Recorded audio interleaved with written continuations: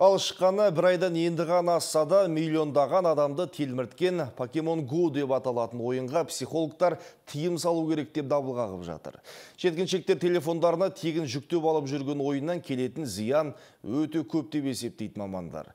Тіпті әлем бойынша бұл жаңа бағдарламаның құрбанына айналған адамдардың саны да арта бастапты.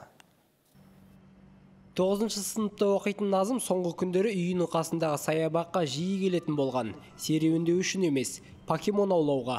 Бүгін тағы келгенімен құр қайтты. Мен ойымша бұл ойын әлі қазақстанда сонша дамымаған. Бірақ досым бар бірге ойнайтын. Е бірінші покемонды үйімде ұстадым.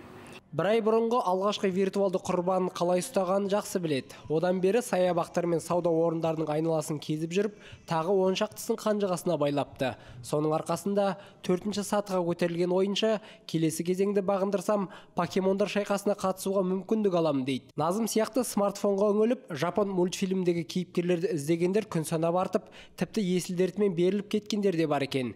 Ата аналардың өтініші бойынша талдау жасаған психологтар осылай дейді. Жас баланың үнемі сол жаңағы покемон гоуды іздеймін деп жүріп кәдімгі шынайы өмірдегі болып жатқан нәрсені ажырата алмайды дейді. Өйткені оң жаққа да мына жаққа да жан жағына қарап үнемі сол покемон гоуды іздеп жүреді дейді. Бұны қалай деп түсінуге болады? Бұл не нәрсе деген сұрақтар қойылып жатыр қазір. Бұл деген санадағы ауытқушылыққа алып келіп жатқан жаңағы әсері оның. Мамандар күнделікті күйбеңнен арылу үшін белгілі бір уақыт осы ойынды ермек етуге болады деп отыр. Тек бір айдың ішінде әлемнің түкпір түкпірінде тіркелген жағымсыз жайттар қайталанбаса болған дейді. Сарапшылар покемон қуып баласын ұмытқан ерлі зайыптылар мен ойынға елітіп полицей көлігін соққандарды мысал етеді. Алайда жеткіншектердің өз айтары бар. Мен машинаны астатып кете жалдаған кездерім болған. Себебі ол ойынның ә, кесірі емес мен ойымша ол өзімнің. Ә, сақ болмағандығымның әсерінен. Бүгінгі таңда малайзия мен иран үкіметтері покемон го ойнауға ресми тыйым салған.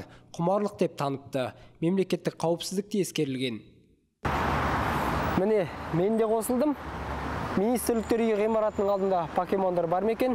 Іздеп көрелік.